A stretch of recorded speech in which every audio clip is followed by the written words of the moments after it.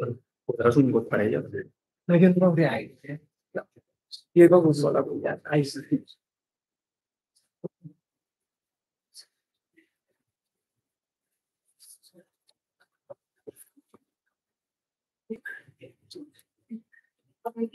Sí, sí que es té atenció a això.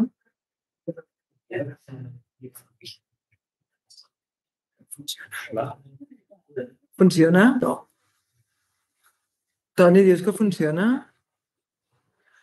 Aquí la, la, diuen que no.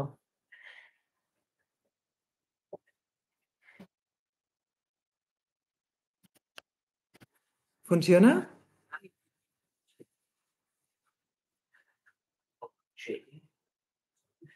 S'ha d'aixecar?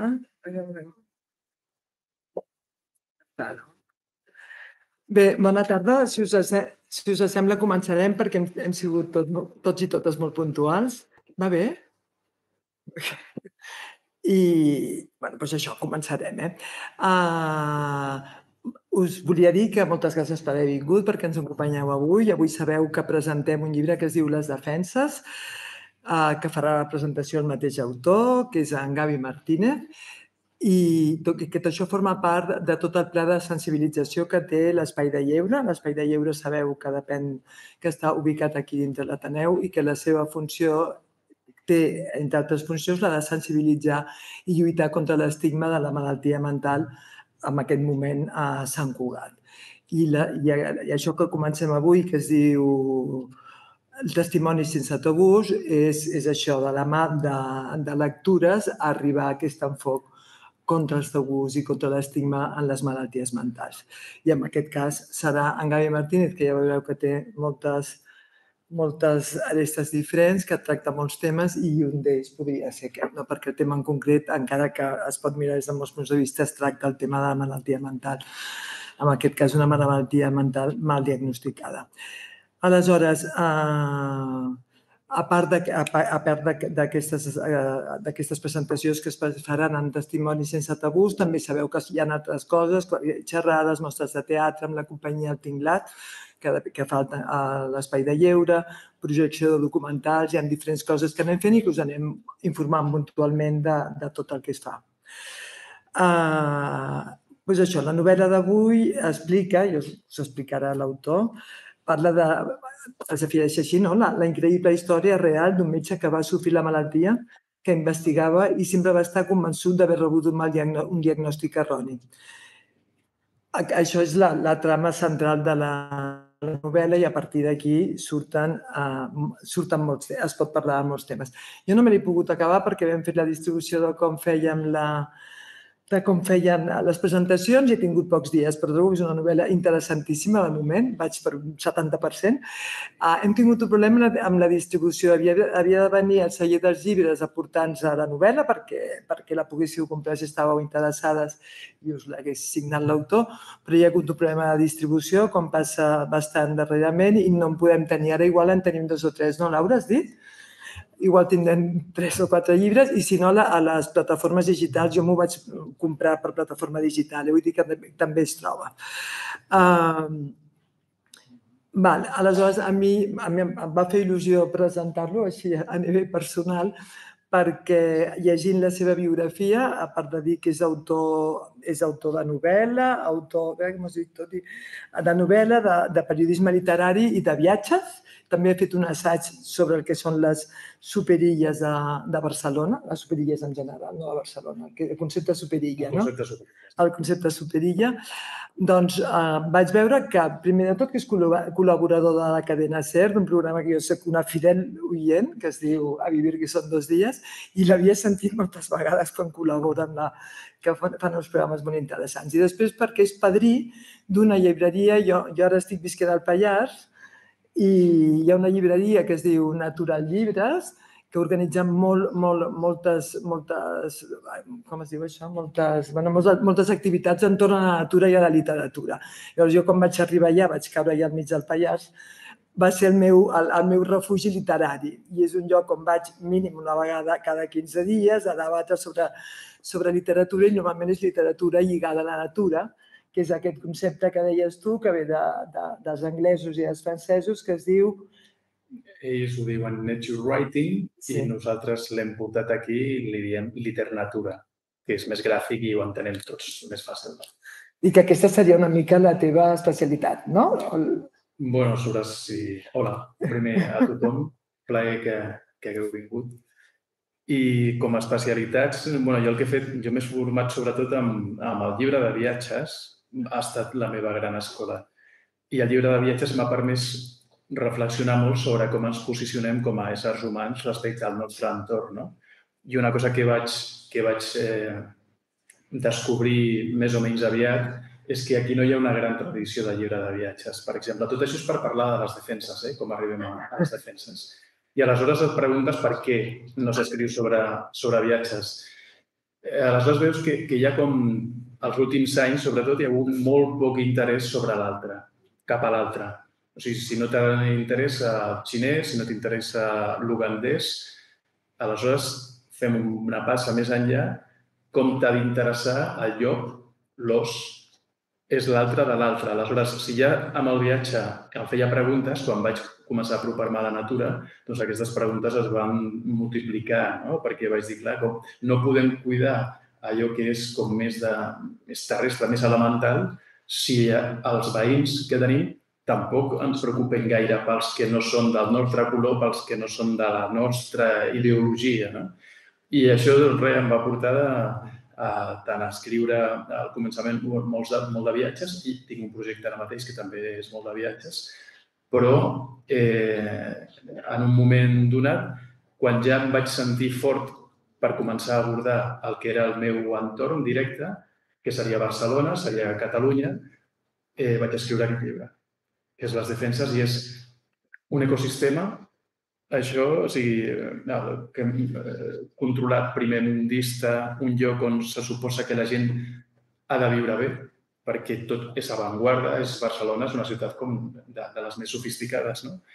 I de sobte trobes amb uns problemes enormes, amb una persona que emmalalteix i per començar no saben diagnosticar-li bé la, la malaltia i amb el per què, sobretot el per què eh, agafa aquesta malaltia. No? De tal manera que la part de, més elemental de l'ésser humà, més lligada als, a com es relaciona amb el seu medi ambient, amb el seu ecosistema, doncs era fonamental a l'hora de, de plantejar el llibre. No? I d'aquí doncs, que, que arribi a les defenses. Molt bé, doncs si, et sembla, pas, passem ja... Hi ha moltíssima bibliografia seva. Uh, us puc dir alguna... A veure, els seus llibres, uh, En la barrera, Solo para gigantes, Animales invisibles, Las defensas, Un cambio de verdad, Naturalmente urbano i Lagarta. Són uns dels seus títols, no? Després, Sud, que és aquest que em deies, uh, que, està, que és una novel·la també a Sud-àfrica, no? A, a Sudan. A Sudan. Sí, a Sudan. Això ho hem parlat fa cinc minuts, llavors la meva memòria és fatal, eh? però comença a aparèixer com a mínim, no? Los mares de Wang, Boy, Boy i una Espanya inesperada, bueno, aquestes són algunes de les teves obres, però en, ten, en tens més, no? I, i, en, en, que són novel·la, m'has dit tres o quatre, no? També? Sí, de novel·les, o sigui, com us deia, o sigui, sobretot el llibre de viatges l'he treballat molt. Eh, a la Xina, Nova Zelanda, Austràlia, diverses vegades. Hi ha llibres sobre aquestes diverses zones, sobre Nova York. I després hi ha tota una vessant periodística, perquè jo em vaig formar com a periodista. Hi havia una cosa que vaig tenir sempre molt clara, que era que volia escriure, però per guanyar-te la vida, clar, tu no comences sent Baudelaire, no? O sigui, o Norman Mailer o Josep Pla, o sigui, has de guanyar-te les garrofes i la forma era fent periodisme. Vaig tenir problemes amb els meus redactors en cap, eh, perquè sempre m'estenia massa amb, amb, els redactats i perquè deies coses que no eren del tot convenients. Vaig començar a tenir... Em vaig decepcionar molt del periodisme. No dels periodistes, o sigui, els periodistes, hi ha grans periodistes, però tot el que és el, la maquinària de periodística eh, va ser molt decebedora per mi i una de les apostes que vaig fer va ser intentar tot allò que havia après eh, doncs a la facultat i, i, fet, i practicant de periodisme directe, doncs portar-me a un territori on no hi hagués un jefe que t'estigués controlant de la manera que, que veia que estaven controlant a la gent. No? I aleshores hi ha tota aquesta vessant també de periodisme literari i la novel·la, que és on, diguem-ne, hi ha coses que de vegades mm, la realitat no te les dona exactament per explicar allò que tu voldries i te les has de portar doncs, a, a la ficció per poder lligar tots els, els, els caps que hi ha per allà sueltos, no?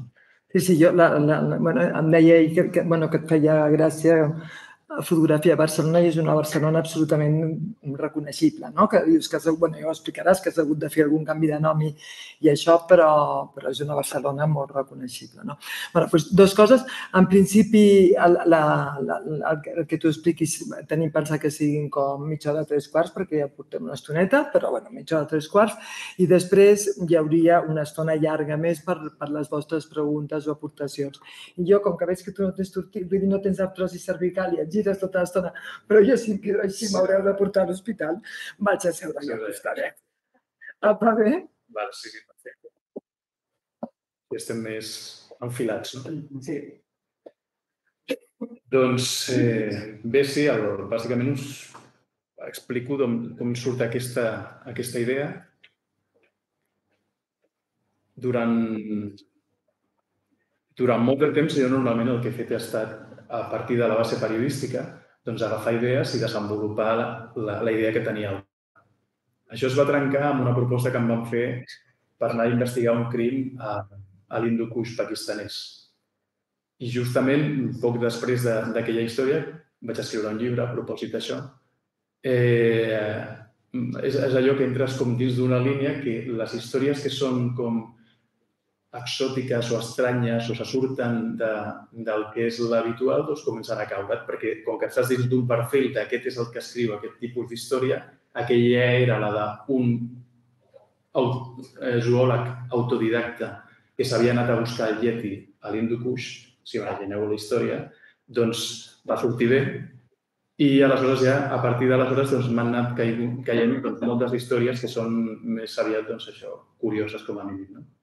I aquesta en concret comença com, de fet, es diu a la introducció. O sigui, jo estava signant el, el meu últim llibre un Sant Jordi i quan acabo la signatura doncs em ve un senyor i em diu que ell té una història que eh, veu protagonitzada per George Clooney a Hollywood. I diu, bueno, això estàs enmig de Sant Jordi, has de canviar de, de, de puesto ràpidament i dic, bueno, senyor, dic, ja, però molt bé, però eh, m'he d'anar a signar un altre puesto. I em diu, no, no, diu, si tens una estona, un moment, eh, fem un cafè un dia i t'explico eh, la meva història. Una de les coses que he après durant tot aquest temps i, i el meu camp d'acció, sobretot el que més m'interessa, és precisament les històries petites que ens poden explicar el, el món des d'aquell punt on no ens esperàvem. De fet, ja us dic, o sigui, anar-me'n a l'Hindukush a parlar del Yeti i d'un zoòleg em va permetre parlar de per què s'està votant a l'ultradreta a, a França o per què algú es fa a l'Hindukush, per exemple, a partir del Yeti.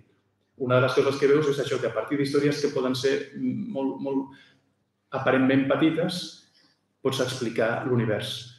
I aleshores, i per fer un cafè, bueno, mai no saps on pot portar la història. Doncs van quedar per fer un cafè. Aleshores, aquest senyor em va explicar una història, la seva de la seva malaltia, com l'havien diagnosticat malament i com s'havia sortit no, del problema. Però, clar, ell, quan me l'explicava, la tenia molt clara dins del seu cap, la història. I, a més, em parlava de lectures, em parlava de, de referents literaris que tu veies que era un humanista, era un, aquesta figura no tan habitual del científic amb una eh, gran eh, carrera humanística. Havia llegit, li encantava, per exemple, des de Javier Marías, doncs els clàssics eh, anglesos de tota la vida, des de Jane Austen, o sigui, eh, era un gran lector.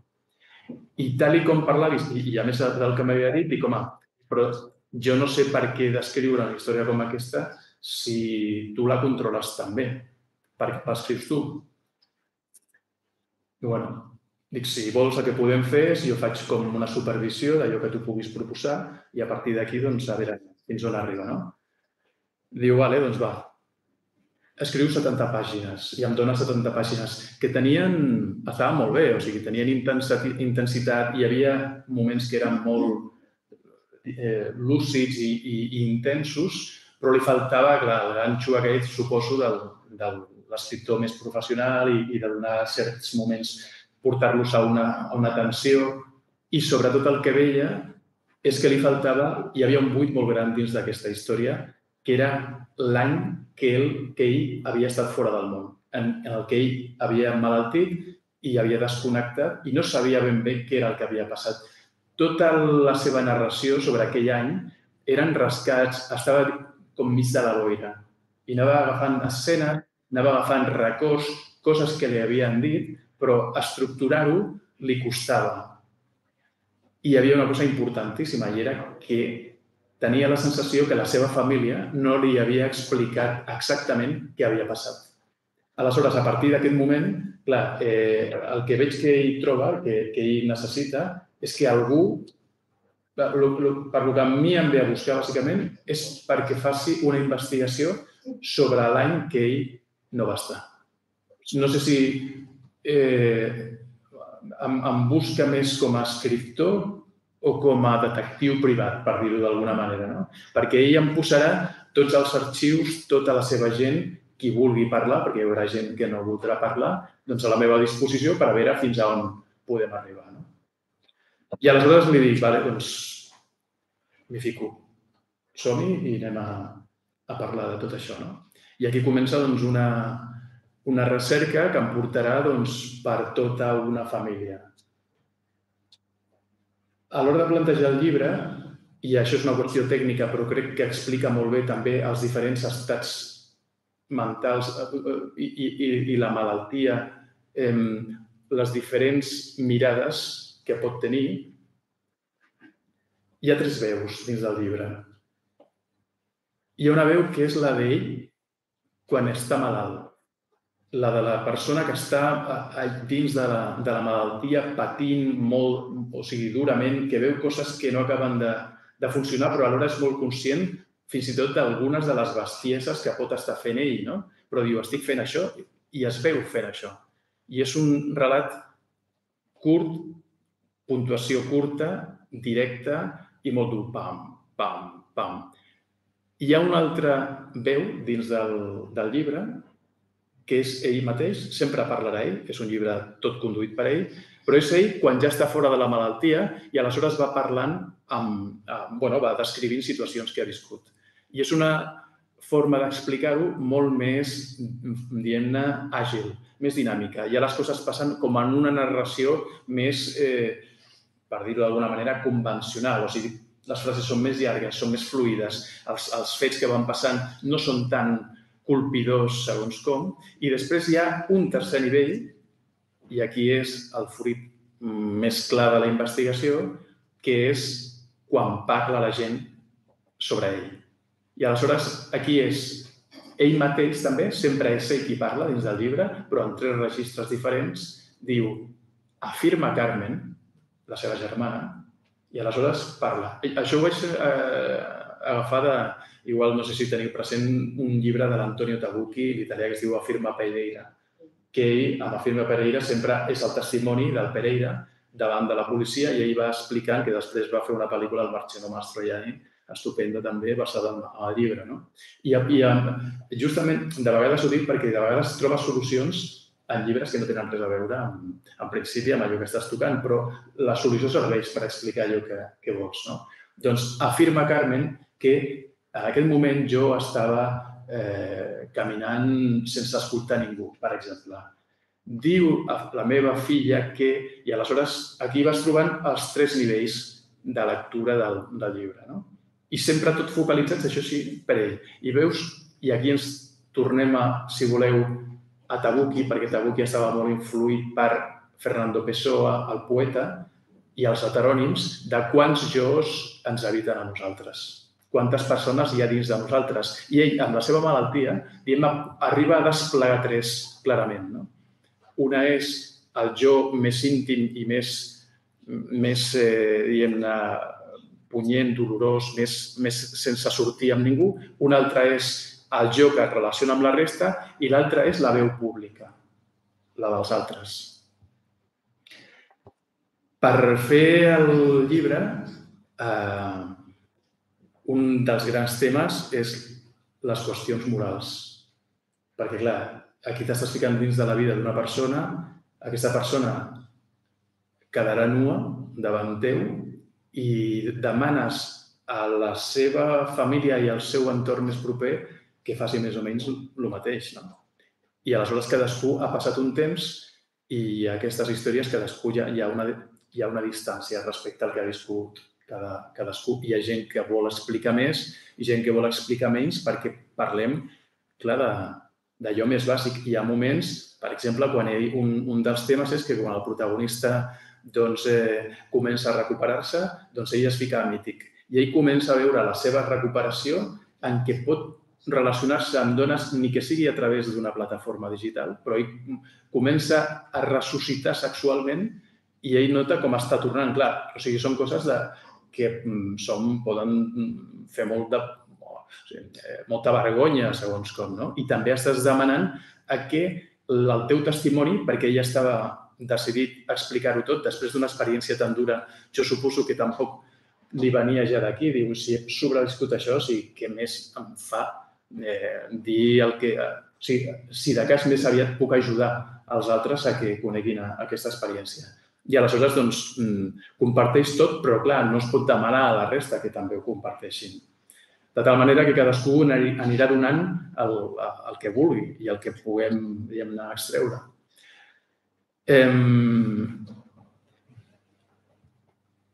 El seu entorn, i crec que és una altra cosa importantíssima per, pel llibre, són bàsicament els, els grans protagonistes del llibre eh, són nou dones.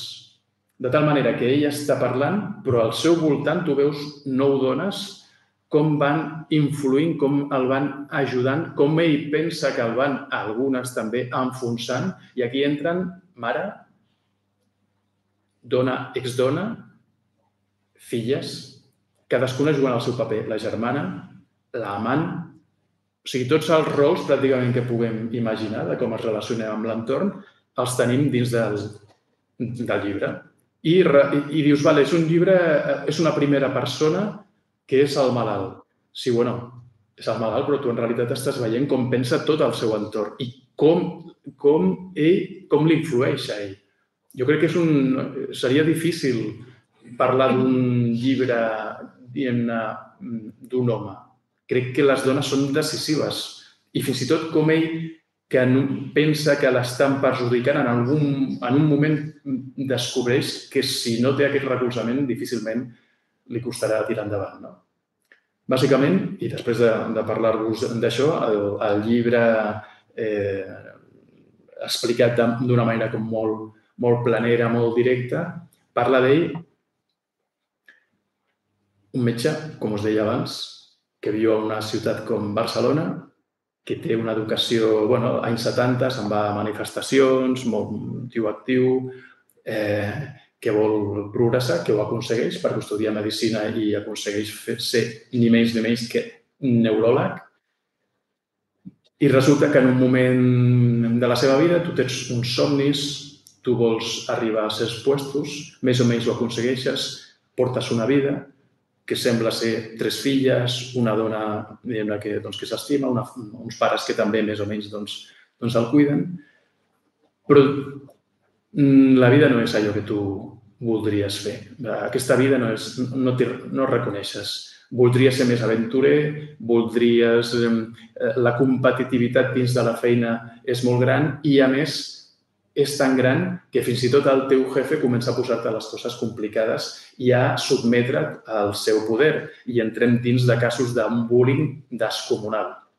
De tal manera que entre el que són les qüestions sentimentals i el que és el, el bullying laboral i els somnis no complerts, dins d'una ciutat que vulguis o no, però eh, és, eh, és una pressió molt gran. O sigui, a Barcelona Barcelona és una de les ciutats, no sé si és la ciutat més densa, una de les més denses d'Europa, perquè està pensada així, perquè els, els urbanistes saben que la ciutat densa és la més eficaç. Aquesta ciutat dels 15 minuts ha de ser densa, ha de, han de créixer els, els edificis i hem d'anar més aviat alts i hem d'estar més aviat a prop per rendibilitzar al màxim el temps, eh, els moviments que fem. No?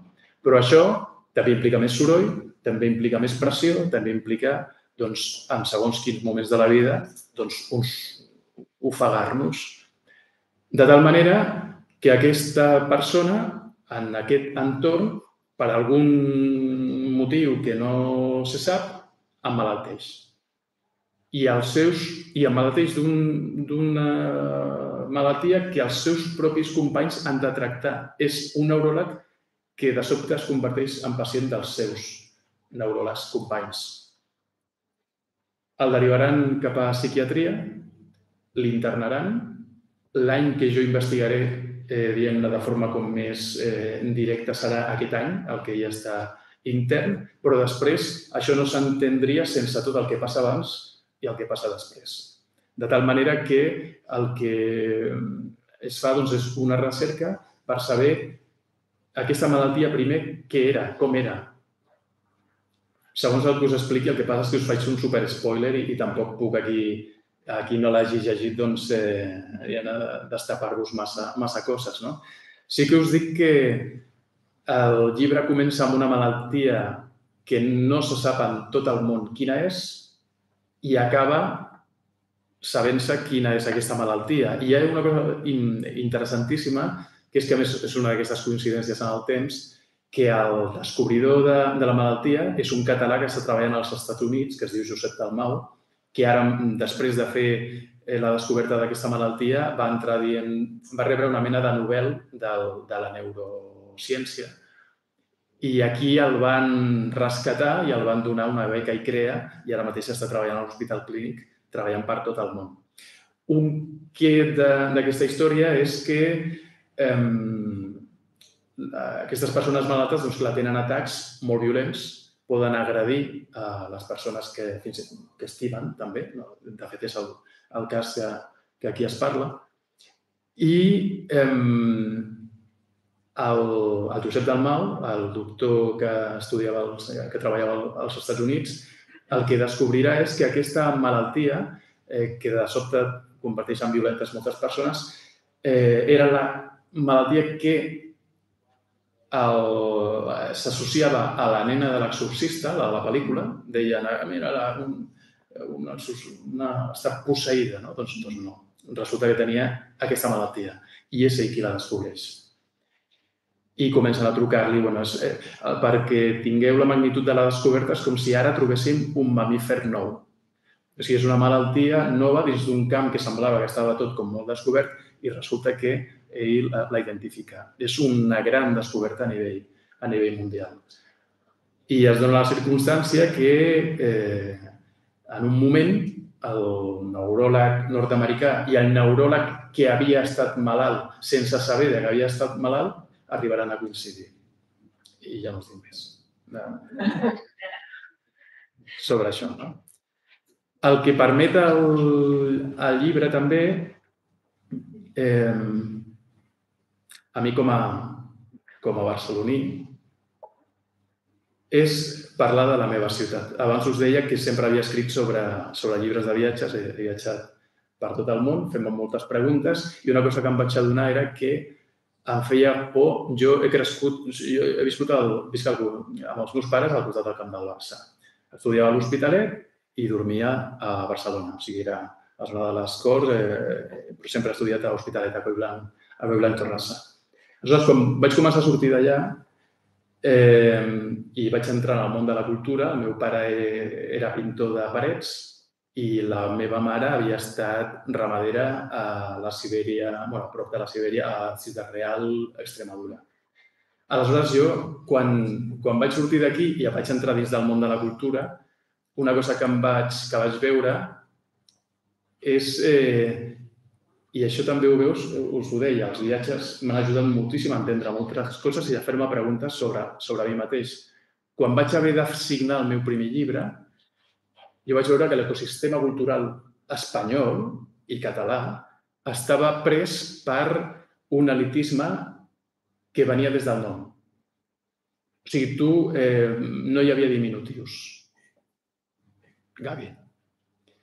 Resulta que això van, em vaig demanar per què no hi ha diminutius. I a la tradició anglosaxona sí. Aleshores te'n vas a Henry David Thoreau, i aquí acabarem parlant del que deies de literatura i de nature writing. Henry David Thoreau.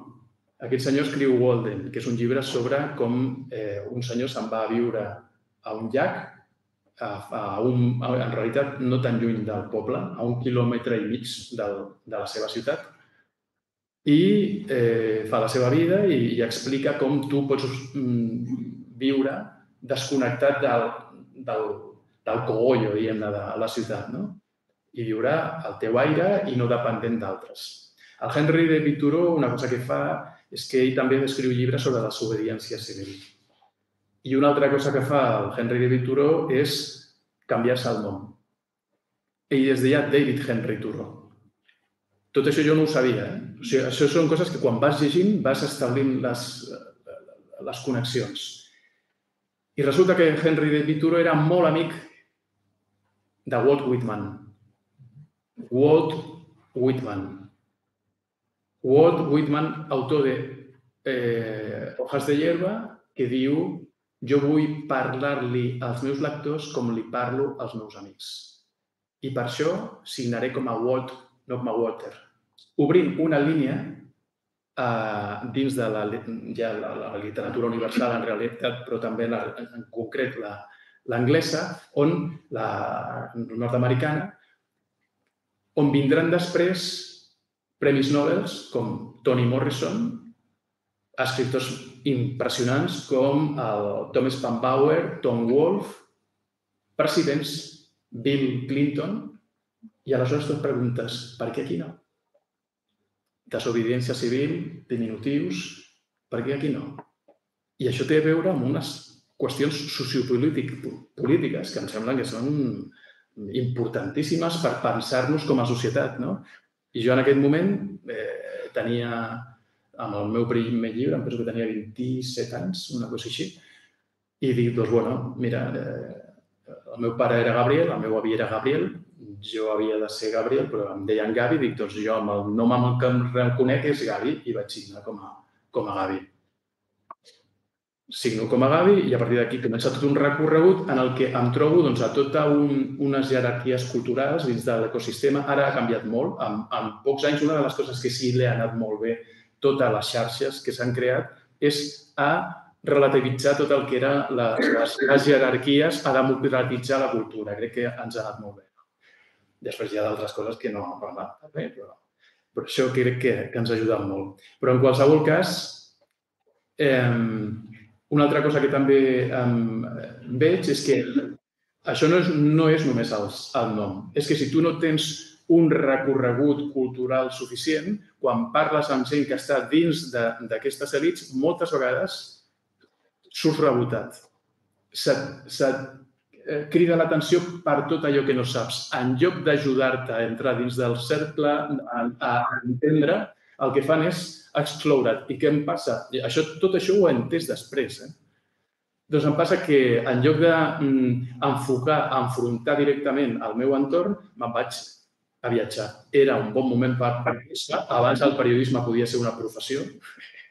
Ara ja la cosa s'ha complicat. I com que eh, començo, començo, o sigui, puc viatjar a diversos puestos del món amb, amb pocs diners, perquè viatjar no costa tant si treballes a més per, si es paga bé el periodisme, podies anar fent coses cròniques, després llibres i eh, començo a viatjar per tot el món i a escriure sobre, eh, sobre diversos llocs. I després d'un recorregut de diversos anys i d'arribar a conclusions, dic, ja està, ja em sento madur, sé, reconec quina és la meva posició dins d'aquest món i d'aquesta ciutat i ara vull escriure un llibre sobre la meva ciutat, que en realitat em penso que era per lo que m'estava preparant, o sigui, per, per enfrontar cara a cara els meus veïns i dir, bueno, ara parlem. Fins ara jo havia estat així, ara parlem. I aleshores escric aquest llibre. Una de les coses que també veig és, jo pel meu origen, o sigui, per com se'm situa, eh, tot el que veig, els, els llibres en els que ens podem reconèixer són, per exemple, Juan Mercè, el Pijo Parte, per, per dir-ho més o menys, no? El, el Francisco Casabella amb el Batussi, el Carlos Tanon amb Johnny Sanders. Te n'adones que són tot autors de barri, jo havia crescut a Hospitalet, encara que visqués a Barcelona, autors de barri, molts d'ells amb, com, diem, amb, com, com fills d'immigrants i tal, i que sempre escriuen des de el marge, des, del, des de la cantonada on sembla que t'hagis hagut de quedar. I tots, curiosament, tots els seus protagonistes tenen noms que no són els seus. Pijo Aparte, Batusi, Johnny Thunders. Tornem als noms. I aleshores li dic, per què?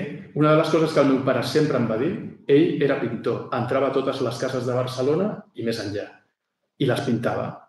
I ell tenia una relació quotidiana, habitual, amb les persones que li pagaven per treballar aquí dins. I jo, quan venia amb el meu discurs de tota la vida també, diem-ne que hi ha coses que, per suposat, sostindré, però és que la burgesia, és que tal, no sé què, el meu pare em deia, no, diu, la burgesia a nosaltres ens està donant no només de menjar, sinó que a, mi m'ha fet aprendre moltes coses d'aquí. I aleshores la meva pregunta va ser per què no jo, que vinc d'un joc que, que se suposa que he d'escriure un tipus de llibre determinats, no intento empatitzar amb, amb, per exemple, un neuròleg, un burgès que ha malaltit fins i tot i que m'explicarà una història sobre una Barcelona que jo, des de la meva joventut i de, de, des d'on estava abans, probablement no, havia, no hauria mai eh, m'hauria apropat aquí. No? I com que tinc una persona que està disposada a obrir-me aquesta porta i, a més, me l'obre amb una generositat impressionant i crec que és una història estupenda per explicar la meva, la meva ciutat i la meva gent des d'un punt de vista molt mm, diferent, doncs enfrontem el, la història i anem cap allà. De tal manera que quan entres dins de les complexitats, a més de la família, jo crec que aquesta és una de les, de les coses que més m'agraden, a més, torno a, a la literatura anglosaxona, però la, la, la típica literatura, el típic llibre que, que dius, eh, autor del medio oeste nord-americà, eh, eh, Philip Roth, eh, Jonathan Franzen, eh, Bello, o sigui, tot, tots, tots aquests escriptors que t'han agafat la família nord-americana i amb una família t'han explicat als Estats Units, als Estats Units. I dius, aquesta, aquest tipus de novel·la, com que costa molt trobar-lo aquí, no? I jo això, encara que fos també, o sigui, molt basat en una història real, pensava que aquesta història permetia endinsar-nos dins dels caps d'aquí i no només parlar, per suposat, del neuròleg i totes les tensions mm, dins de la professió que, que projecten a moltes altres tensions que hi ha dins de la ciutat, sinó també, per exemple, amb, una, amb la seva filla que és ocupa, per exemple.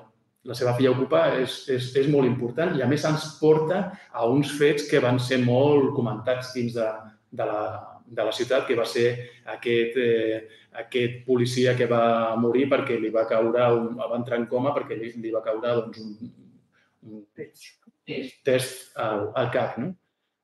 I, I aleshores és això, o sigui, com una història, tornem, no? Aquesta història petita, lateral d'una persona que emmalalteix i tal, de sobte comença a obrir-te un paisatge i resulta que veus la teva ciutat en, en, en la seva, no sé si totalitat, però sí amb, des de molts punts de vista que de sobte doncs, semblava que, que, que, que això. Eh, pel reduccionisme habitual que tenim a l'hora de definir els llibres, doncs és una història de metges, o una història d'un malalt, o una història de, no sé, de, del que imagineu. Jo vaig començar, eh, amb això em vaig adonar, per exemple, amb la primera novel·la, aquesta no us la recomano, però va ser un intent, una cosa que vaig fer, però era sobre videojocs. I aleshores jo sentia que parlava dins del llibre mm, de moltes més coses que de videojocs. Tu pots fer un, una història sobre videojocs que sigui immortal. No es tracta de que expliques, sinó de com ho expliques. I aquí és on, on te la jugues realment. I a partir d'aquí, no sé, podria parlar més coses, podria parlar d'un parell de, de temes igual que us introdueixi per, que, que em va semblar com molt, molt curiosos també, això perquè els tingueu al cap, que apareixen dins, dins del llibre, vaig aprendre moltíssim. A l'hora de construir-lo vaig, vaig haver de llegir llibres, per suposat, que d'altra manera doncs, hagués estat difícil, recomanats pel propi protagonista i, i alguns doncs, que anava pescant per allà, des de La Casa de Dios, de Samuel Shem, que és molt divertit i, i que es fica dins del que és en aquest cas és un, un hospital jueu. I, i, i diguem-ne, a l'hora de ser transgressor va més enllà, perquè a més està jugant en qüestions també religioses, però també em, vaig entrar molt en llibres de persones que estaven eh, doncs, en un procés, diguem-ne, més aviat terminal i que tenien a veure amb malalties de, del cap, del cervell, que eren com degeneratives, que eren històries molt dures i alhora molt, molt luminoses, molt maques. I, curiosament, eh, amb el Harry Marx, amb l'Oliver Sacks, diguem-ne, que sempre té moltes històries molt, eh, que, que et donen molt, moltes idees també, no? I curiosament, el llibre que em va determinar agafar aquesta, aquesta veu única, aquesta primera persona narradora, és un llibre que, que o sigui, us, us ho dic i dius, bueno, i aquí com, com és això, no? És Memòries de Adriano de, de Marguerite Yourcenar eh, és un llibre on hi ha una primera persona narradora que a mi em va, em va frapar, em va semblar meravellosa i vaig pensar que era... i, i, i que et feia volar, et movia per tants puestos que pensava que si això podia portar-m'ho al territori d'una persona que, a més, ni tan sols estigués amb el control tota l'estona, sinó que estigués descontrolada, podia jugar amb registres diferents i això, donar tres veus. Em penso que aquestes, aquests tres cops, aquests tres tempos, narrativament, són importantíssims. O sigui, quan fem una enumeració, moltes vegades utilitzem tres paraules, pam, pam, pam. Hi ha un, el, un dels grans llibres, el, del Peter Matthiessen, ell va escriure un llibre que es diu Le Pardo de las Nieves. Va guanyar el, el Premi mm, de narrativa eh, de no ficció als Estats Units. És l'única persona que ha guanyat, no sé si ara fa poc ho va fer alguna altra, que ha guanyat el Premi de ficció i de no ficció eh, amb diferents llibres, per suposat, als Estats Units. L'altre llibre ho va, ho, el va guanyar en País de Sombres, un amb un llibre de viatges i l'altre amb una novel·la. Aquesta novel·la la guanya després d'arribar a, una, a una història. I us ho explico també per entendre millor encara el, el plantejament de les defenses. Arriba un senyor, Watson, arriba a, a una riba d'un manglar que hi ha per allà i li estan esperant 20 persones amb escopetes. Hi ha un petit intercanvi i la fusellen, el maten. Aleshores, el Matissen decideix dividir el llibre en tres parts no farà, un, farà una novel·la total, però el dividirà en tres parts. Primera part, com el Mientras agonizo de William Faulkner. Tot el poble parlant de per què han matat aquest tipus. Era un desgraciat, un assassí, havia matat a 8 persones, no mereixia viure, tal... 50 persones parlant d'ell. 400 pàgines. Entre altres coses, és un llibre molt llarg, 1.200 i pico pàgines. Segona part. El seu fill pensa que igual això que han dit del seu pare no és del tot així, perquè ell sap per què va matar a, a un i sap que amb aquell va ser en defensa pròpia, comença a fer la seva investigació. I veu que hi ha coses que no acaben de, de lligar del tot i, i troba raonaments, diguem-ne, defensables dins de la posició del seu pare. Tercer llibre, Watson, el mort. I aleshores tu tens de nou tot això, o sigui, tens primer llibre que és veu pública, segon llibre que és algú que t'estima, tercer llibre seria la, el, el protagonista. En aquest cas, l'ordre que us explicava del protagonista de les defenses seria a la inversa i tot explicat per si mateix, però seria el protagonista, algú que t'estima, que és ell, eh, diguem-ne, veient-se amb, amb, amb netedat, no en el moment de la malaltia, i el tercer moviment, que és el col·lectiu. tota la seva família opinant sobre eh, qui era ell. No? I així com a descobertes, una última cosa que em va semblar molt curiós, que em va cridar molt l'atenció, que era que existís un hospital només per, per metges, o sigui, per personal eh, mèdic que estigués malalt. O sigui, per protegir els, els eh, metges precisament perquè, clar, si tu estàs si tu ets un metge i estàs malalt i de, de sobte ve un pacient teu i et veu al costat com a malalt, igual pot deixar de, confiar mai més en, en tu, no? I va haver ja us dic, o sigui, va ser una, una gran, un gran aprenentatge per mi. Va durar dos anys i mig, tota l'experiència. Vam acabar el protagonista real i jo pujant a un, a un cim, allà als Pirineus, i, i després va haver-hi tota una altra banda, que això també com a, com a escriptor m'ho he anat trobant ja diverses vegades, que és que al començament tenim històries... Jo crec que tothom té història, qualsevol, la història de qualsevol dels que estem aquí té un, un llibre, estic pràcticament convençut. El problema és si vols explicar-ho i segons sigui allò que s'explicarà, si podràs encaixar la resposta del públic. Estem en un moment on que hi ha tantes veu o sigui, que sembla que tot sigui públic, que sembla fàcil enfrontar-se a la massa, no? als opinadors que estan aquí fora. I el que m'he adonat és que tu, quan vols explicar la història, ho dones tot, expliques tot, vas eh, pensant que eh, podràs acceptar el cop i quan et trobes dins mm, quan, eh, de la resposta del públic, que mai és mm, com tu esperes, és molt complicat, eh, diguem-ne, tirar endavant sense que això t'afecti. I això no només per aquest llibre, sinó per d'altres llibres també. Després del llibre, tot això que semblava d'una manera, doncs, eh, li va començar a semblar d'una altra. És una persona que jo m'aprecio molt, però ara doncs, no, no tenim contacte i és bàsicament per això. Jo tinc dos llibres també d'investigació. Hi ha dos llibres dels que no puc parlar per contracte i dos llibres que he hagut de defensar amb advocats perquè, eh, bueno, tant, és el que us deia, no?, del periodisme, o sigui, si tu vols fer periodisme de debò o vols explicar històries de debò, doncs de sobte doncs, et trobes en situacions que l'ecosistema no acompanya gaire. Però, bueno, al final sí que és veritat que acostumen a tirar, a tirar endavant els llibres i, i aquí estan.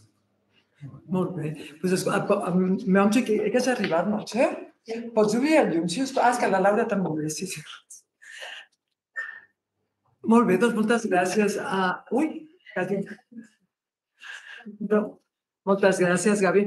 Dono fe de que, de que existeix aquesta fundació per atendre personal sanitari i que més que, que, que, que està molt utilitzada, o sigui que realment, realment eh, fa un, fa un gran servei, que a més és una cosa molt, molt, de, està molt amagada, o sigui, ningú, ningú sap l'adreça, ningú sap on està, més ser, vull dir que és una cosa... Vale, aleshores, havíem dit abans, uh, que veu llegir aquest llibre a l'Espai de Lleure? Hi ha, hi ha gent que se l'hagi llegit aquí a la sala? Sí? No, no és un examen, és per saber una mica. No, perquè ens havien dit que igual l'havíeu llegit. Val, llavors, jo, eh, si algú té alguna aportació, alguna pregunta... Eh, em dic Martín, parlo en castellà, me interessa a. ¿Cuál que, cuál es la intención, cuál era la intención de esta persona para poner en público su, su? Quin motiu tenia? Mm, no, jo crec que ell, ell tenia la sensació de que ja havia viscut una història única i que realment ell ve, i ho diu en sèrio, que veu que li pot, mm, que pot estar protagonitzada pel Josh Clooney, però ho diu, en, ho diu amb un somriure, però pensa que era de bo. La Susana Cahalan, amb la que vam quedar, eh, va patir la mateixa malaltia als Estats Units i li va fer una pel·lícula per exemple, no? I ell pensa més que, clar, o sigui, quan, quan veus tota la concatenació de, de fets, O sigui, lo de la nena de l'exorcista, per exemple, no? El, el tema que el del Mau sigui pràcticament un premi Nobel que descobreix això que, que ell tenia. El bullying impressionant que li fa una persona que no pot sortir amb el seu nom. O sigui, una de les coses que fa el llibre és eh, amagar alguns noms perquè són de gent pública molt poderosa, molt, molt poderosa de, de la ciutat. Eh, però clar, ell al començament no sabia si aquests noms sortirien o no. I la seva intenció era que si havien de sortir, doncs endavant, no? Eh, doncs ell pensa que ell realment té una història que és molt singular. Bueno, I, de fet, això us ho diré perquè aquí és un, són aquests llibres... És, un, és que si no m'ho faig jo, no m'ho fa ningú. El, eh, eh, Le Monde Littéraire li va dedicar la portada del suplement literari a França al, al llibre. O sigui, vull dir, per aquí passen per... Tenim de vegades històries i llibres i, i autors que passem d'ells olímpicament. No tenim un gènere de viatges com cal, no tenim un gènere de literatura, no el tenim, o sigui, ni com cal ni sense cal. Ara comença amb tota la moguda de, del canvi climàtic, ara sembla que sí que comença a haver-hi un, un interès, no? Però aquí tenim històries i ell, que és una persona llegida, i sap que si a un professional li dones alguna cosa així, de sobte, pot, t'ho pot convertir en una altra matèria, doncs ell confia que el camí de, de, de la seva història doncs pugui ser aquesta. I jo penso que després d'un patiment tan gran com és el que va passar, la seva voluntat és de eh, d'alliberar-se del tot, de demostrar que ell eh, ell també competeix, està dins d'un món de competència molt gran.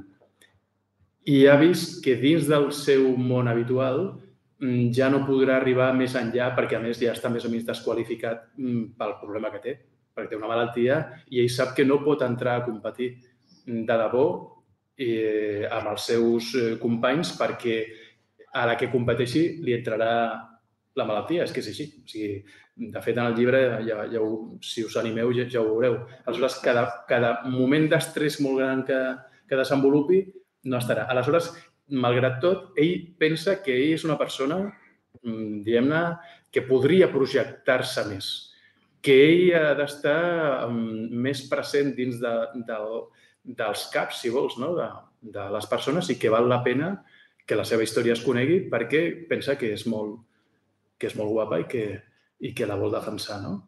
I jo ho crec, també. és que si no, no m'hagués ficat a, ficar, a escriure el llibre. Jo crec que té una gran història, que de debò és molt, molt singular, és, és molt única. No?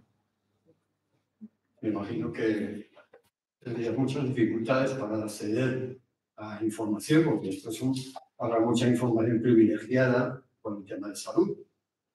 ¿O cómo a...? Sí, el que, el que passa és que Aquí, clar, la, el tema és que jo disposo dels millors, perquè del Mau, jo m'entrevisto amb del Mau, perquè del Mau ja està treballant aquí a Barcelona. Eh, m'entrevisto amb, amb el seu braç, la seva mà dreta, que també és un altre superexpert. Dins dels del, els, els psiquiatres i neuròlegs, més o menys, també m'expliquen coses. I no ens movem, o sigui, tampoc em moc per un, per un àmbit que ha de ser de gran exactitud científica, perquè el que aquí estem tractant sobretot és de sentiments, d'emocions i de com ens posicionem. I aquí el que costa és que s'expressin aquestes emocions. Això és, per això és molt de temps.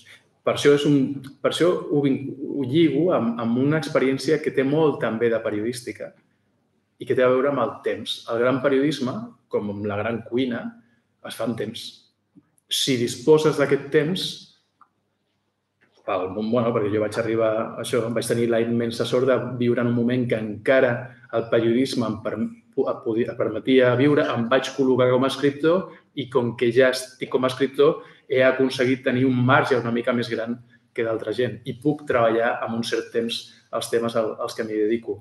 Doncs al final, si t'hi dediques temps a les persones, les persones s'obren i t'expliquen coses i arribes a puestos que, que d'altra manera doncs, no, no podries. No? Però ja et dic, la part més científica més de... no és la que més importa. És, això és un llibre, això és una novel·la. És com, com el Raskolnikov de Dostoyevsky, posant-nos esplèndids. Eh? Entrem dins del cap de, de persones. jo sí, jo vaig tenir un accident molt seriós, molt seriós de veritat. Vaig fer l'any 90 i em van passar 90 minuts sobre de, del cúmul i del cap. Amb els resultats de tranquil·litzes del cap. Vaig estar en coma 19 anys. 19 anys. I bueno, em va trencar absolutament i a nivell humil tot el que puguem imaginar que tenim i que veritablement, per la meva experiència, no en tenim ni idea. Quina edat tens? Jo ara tinc 58 i em va passar el tràiler per sobre amb 28 anys. El dia que la meva única filla complia el seu primer aniversari. Llavors no hi havia mòbils, era una situació molt diferent i la, va la redundància, la situació és molt comuna perquè la meva família s'assabenta del que passava no? i van passar coses veritablement de nivell en quant al que acabes de dir, que to tothom té un llibre. Jo sé que m'agradi o no, jo el tinc. I és de la realitat que m'ha tocat viure, tinc la sort, o almenys jo trio per aquesta banda, de sentir que el que em passa veritablement no tinc que carregar-ho com una desgràcia, perquè és massa per a mi. Deixo que, que m'acompanyi i treure profit. És molt difícil d'entendre perquè està funcionant a un nivell anímic que veritablement no, no, no sabem com. No, nosaltres no I podem. no hi ha professionals. Hi ha psicòlegs, hi ha psiquiatres, hi ha el que vulguis. És un tema que jo tinc que viure amb ell des de, mi mateix. I tinc que ser molt sincer amb mi mateix, tinc que adonar-me de que tinc inputs que no són els correctes respecte a lo que estic vivint a l'hora de, de relacionar-me, d'explicar-ho, de, jo tinc que conviure amb ell, amb, amb aquesta algo que, que és definitiu per mi i que m'ha determinat la meva vida. He tingut que treballar 22 anys després de l'accident perquè si no no podia menjar i bueno, vaig trobar feina. Jo tinc facilitat per, per parlar llengües. De fet, jo soc de Madrid i he après el català sentint a la resta que, de les persones que m'envolten i parlo anglès, francès, que parlo Mm. i, bueno, que volia compartir aquesta història. Doncs un dia fem un cafè i qui sap.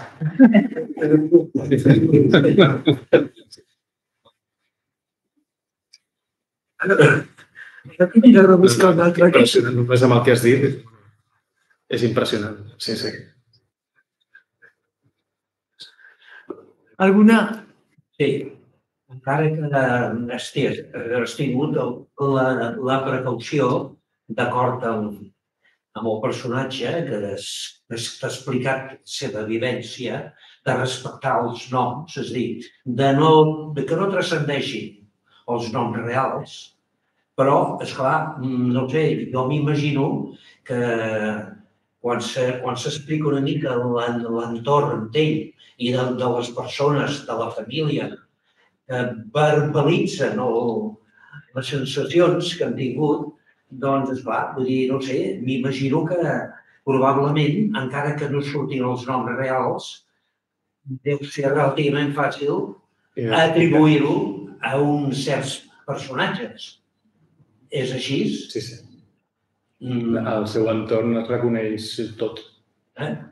És a dir, Mm. que encara que no, no surtin els noms reals, és possible saber. De qui parlem, de quina família, Aquí és un dels grans temes. I això de Això dir com, com es gestiona. com, com es viu això per part d'ell i de...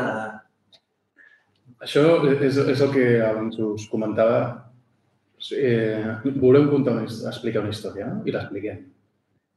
I està davant teu una persona amb un, amb un boli i un paper o fins i tot amb una gravadora.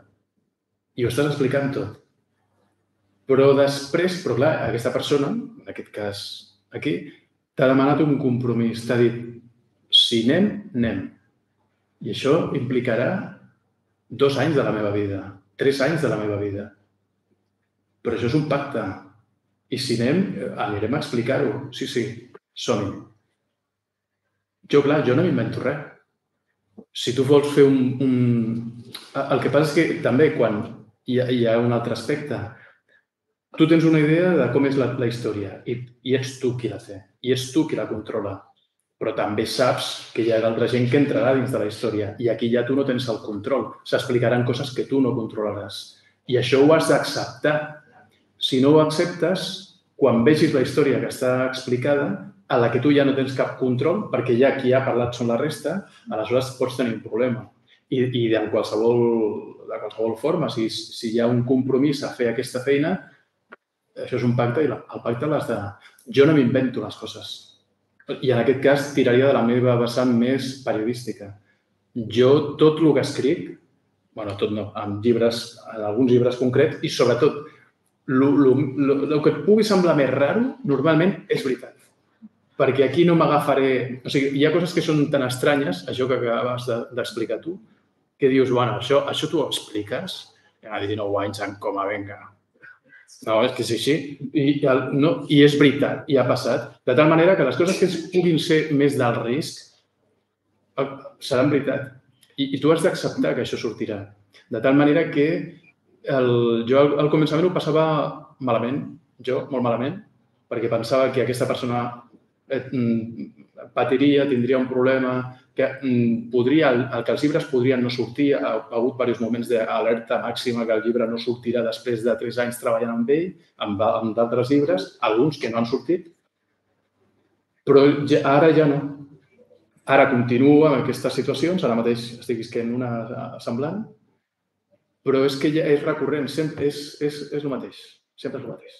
O sigui, és, eh, això dels cicles és, és com això de la política, no? Sigui, això, l'esquerra es divideix, doncs mira, Sumar i Podemos, doncs ahí lo tienes. O sigui, tot és cíclic, sempre les històries es repeteixen sempre.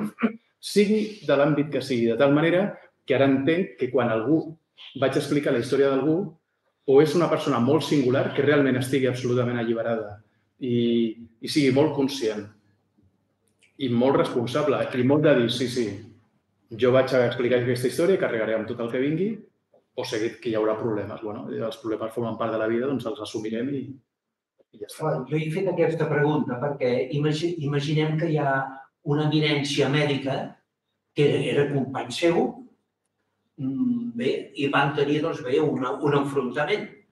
Aquesta eminència mèdica també eh, es pot considerar que també pot ser un, un polític d'una certa importància, per exemple.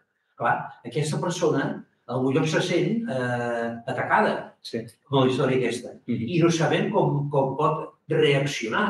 Vull dir, si és una persona que té molt de poder, és capaç fins i tot d'intentar demostrar que això és una fabulació, que no és real, clar, que no es tracta això. Sí, sí. Esclar, això és, molt, és un terreny... Però saps el que passa? No, no, però és, això ja t'ho dic, hem passat per tantes...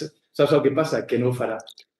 Perquè si és una persona amb tant de poder, normalment, si s'ha explicat això, és perquè ha passat.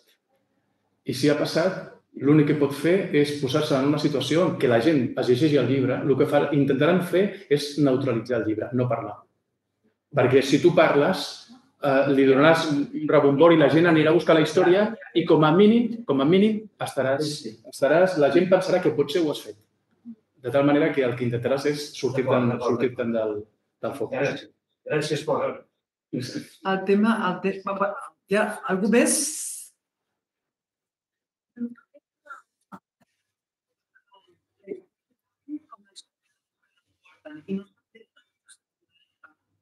Però almenys parlo per... Sí, sí.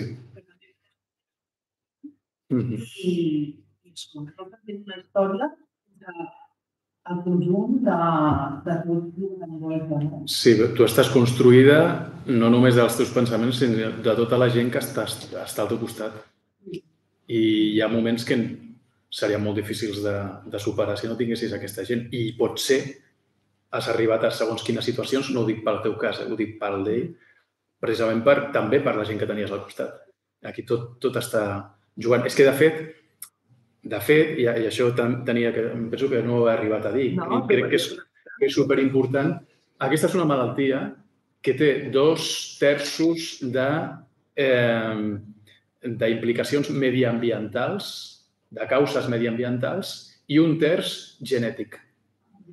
De tal manera que el teu entorn és decisiu. I sobretot es desencadena per estrès. Per això, la part de l'ecosistema, de com una ciutat i una persona que suposadament havia de viure tranquil·la en una ciutat de primer món, com Barcelona, resulta que l'estrès el porta al psiquiàtric. És una mica el... I, i, i, I aquest estrès està generat pel, pel, pel teu entorn. La part bona també que hi té és que resulta que aquestes, sobretot, nou dones que l'envolten, són la majoria uns torpedos i el que faran és reflotar-ho, fins i tot amb les que ell havia tingut problemes. Estaran sempre allà intentant sostenir-ho. No? I, I això també, aquesta, aquesta part també em permet donar-li una altra perspectiva a la idea de el, l'home, no? I això també és un altre, en uns altres llibres també ho he tocat, no? Però, clar, són en un món tan, i ell mateix ho diu, eh, el, el protagonista, tan masculí, tan anys 70, anys 80, mis cojones i no sé què, de sobte que de sobte ni collons ni res. O sigui, aquí qui et, et traurà del, del, del, del forat serà les teves noies, no? O sigui, bueno, parla de moltes coses. Jo us dic, o sigui, estic molt content de, de, del que em va permetre explicar el llibre, perquè no és una ciutat tocada allò amb, amb quatre tòpics, és la ciutat des del cor, és des d'aquí. El que passa és que quan es fan aquest tipus de valoracions, no, una novel·la de metges, una novel·la d'un malalt, no, per mi això és una novel·la de Barcelona. El que passa és que es pivota des d'una malaltia, però és una novel·la de com vivim a les ciutats. Bueno, jo, has, has de dir algú que actualitzi la Viquipèdia perquè això del premi, de la portada aquesta del diari francès no sortia. No, no cuido, No sortia. no cuido les xarxes. No cuido les xarxes. Ten cuidado, si no, Ja. sí. L'altra cosa és això, que realment és una persona molt reconeixible i jo com que, bueno, sap, bueno si no sabeu, jo faig de metgessa de capçalera i hem deduït que ja tenim més o menys la meva, la meva edat, reconec els noms dels espais, el, no? És, és molt reconeixible també l'ambient hospitalari dels serveis, és, és, és, és molt divertit, està molt bé, jo trobo que és, és un gran llibre. Sí, sí. Més coses? Yo digo, que una cosa y es que verdad, protagonista médico. Entonces creemos nosotros que los médicos no enferman, no pueden de baja, pero bueno, una doctora es médico de cabecera que lleva seis meses de baja. Entonces, claro, Debe estar tratándose. eh, después del COVID-19 y todo lo que ha venido ahora, ha sido pues un gran problema para los médicos, los sanitarios. ¿sabes? Entonces, lo que quedamos en la novela, que, que ni habéis, ¿sabes? Porque si fuera de un paciente o un paciente que no es médico ni nada, pues estaría una órbita muy limitada. Pero claro, usted ha intentado abarcar más, pues que haciendo que protagonista sea un médico. Y otra segunda cuestión es que eh, usted utiliza el psicoanálisis de Freud en la novela, porque Freud decía, el yo, el ello y el. Pero no sé yo si va por ahí el asunto. asunto. No, no, no lo abordo de esa manera. El, digamos, el, la, la- estas, estos tres tiempos ¿no? que estaba dividiendo. Pero bueno, eso está muy presente de todas formas en, en cómo él, el sexo, por ejemplo, está presentísimo en el libro. Es algo que a él, a él le mueve, claro. Es una persona joven que quiere relacionarse, que pierde a su pareja eh, y, y que necesita activarse. Y el sexo es una de las cosas que a él le hacen ir, ir volviendo a la vida, ir, ir buscándolo. Y eso es un, y además es como un reflejo muy claro de, vitalidad y de vigor. ¿no? Y, está, por supuesto, si hablamos de, cabeza, hablamos de cuerpo, y si hablamos de cuerpo, tenemos que hablar de sexo. ¿no? O, vamos, es casi natural. ¿no? Y, luego lo de hablar de los médicos, claro, una de las cosas que le dice una de, sus eh, amigas al principio, que luego, una de sus amigas, eh, es que dice, dice, claro, es que yo lo veía, dice, yo te veía, dice, y es que tú no tendrías que estar aquí, tú tendrías que estar al otro lado, pero tú estás enfermo, pero tú deberías ser el que estuviera curando. Y ese cambio, y cuando entra sobre todo en, el, en este hospital para, para médicos y para personal sanitario, pues ahí ves, pues eso, desde la enfermera bulímica, pues al, al doctor alcohólico, a...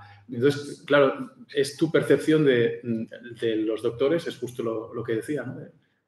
Te lleva a otro lugar y de repente dices, uy, mm, ahí te preguntas, ¿en manos de quién estoy? Bueno, Ese, ese sería, no, no, pero claro, y entonces, de lo, y, y entonces la respuesta es de seres humanos.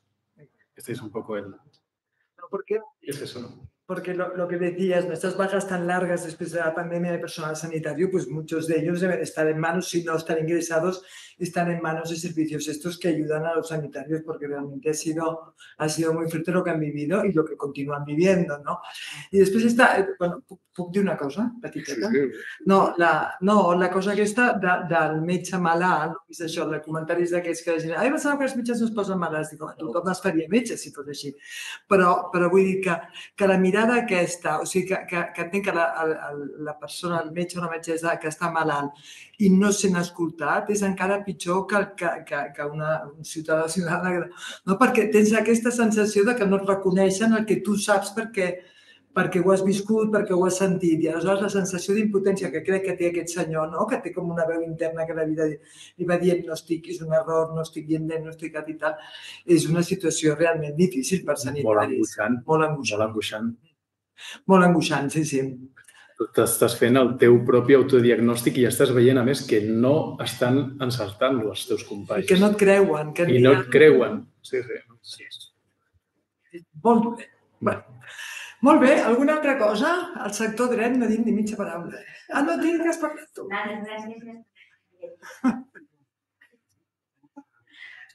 Sí, sí, molt recomanat. I la Montse que està per allà tampoc vols dir res, Montse, és que la Montse també.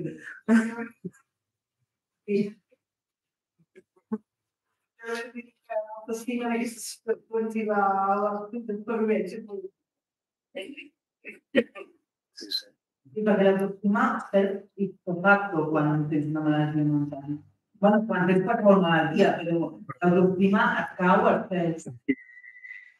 Jo, per mi, bueno, jo tinc a casa també un, una situació així, l'entorn l'entorn és clau. Perquè l'autoestima l'autoestima sense un entorn que t'ajudi és complicadíssim. És que és que és complicadíssim. No, no, no s'ha de perdre. Sí, sí. Sí, sí. Mm. Bé. Sí. Sí, sí. Sí, sí, no, sí, el, el kit està aquí, que és una cosa... És lo típic, no?, que estàs sempre fatal, fatal i, com, i, i el diagnòstic que li fan és dolent, li estan fent que es prengui una medicació que no és correcta, ell sap que no és correcta, però com que està malalt i ha d'obeir, i ell és un metge i ha d'obeir els metges, se la pren, sabent que no és correcta. O sigui, és tot com un cercle molt complicat i, i el que passa és que quan dones amb la tecla, ja està. Allò que feia mil·lennis que no sabia ningú, ja tens això i s'ha acabat. I, i surts de, de la malaltia. És una cosa molt... Bueno, sí, sí. Encara, encara fa més ràbia, no? Encara sóc més... Com he trigat tant, no? Sí, sí. Molt bé, no hi ha ningú més que tingui curiositat per res. Bueno, doncs mira, estem... M'hauràs de tornar a venir quan tothom s'hagi llegit.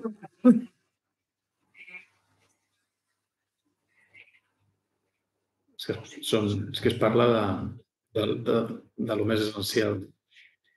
La vida i l'amor, en realitat, és... De llegir. Ell va tenir un... Ell, quan anava per la pàgina 260, m'escriu... vam tenir una col·laboració estratíssima. O sigui, ell m'escrivia cada dia, igual podia escriure'm 8, 8 10 vegades perquè, escolta'm, i això, i això altre, i això què, per intentar ser el més exactes possibles. No? I quan portava 200, això, 60 i pico pàgines, porto llegir d'estel, he passat el Dani plorant i això no pot sortir. No pot sortir? Bé. Això no pot sortir publicat. I dic, adeu. O sigui, aquí, aquí no, què farem, no? O sigui, si ell diu que no, portàvem dos anys i mig treballant. I després de, penso que van ser dos dies, m'he acabat el llibre, perdona per el que et vaig dir i tal, però crec que això és un tros d'història i crec que s'ha que ha de sortir i s'ha d'explicar. Sí, sí. No, no, jo trobo molt valent per, per seva. Sí, sí. Mm -hmm.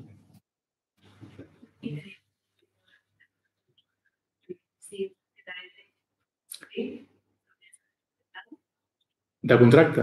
Sí. sí. L'hauries d'haver respectat. Sí. No, no, o sigui, nosaltres vam començar sense contracte, però quan després va sortir publicat el llibre, ella es va implicar amb la promoció del llibre. Però què va passar? Van començar a passar coses. I aleshores va dir que no, que no podia continuar, es va retirar de la promo, va dir que ja no volia saber res... Per això no trobem els llibres a les llibreries, perquè els has de comprar tot, pobre. S'ha retirat del mercat. No, però sí que us dic que, que... Bueno, jo el llibre, que deies abans del llibre digital, jo no ho sé, és que jo el llibre físic me, me l'estimo molt. Ja. Ja sé que ha estat un, una penjada, però si el podem aconseguir físic, o sigui, en paper, jo sempre m'estimaré el paper. De manera. Bueno, cadascú fa que pot. Sí, sí, sí. No, no. Jo dic que si poden, jo dic si poden.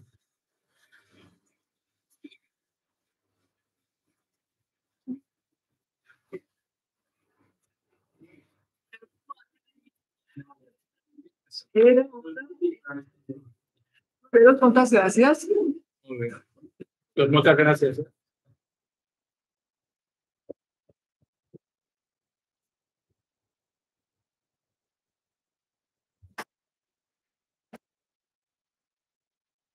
Que em deixaré un bolígraf perquè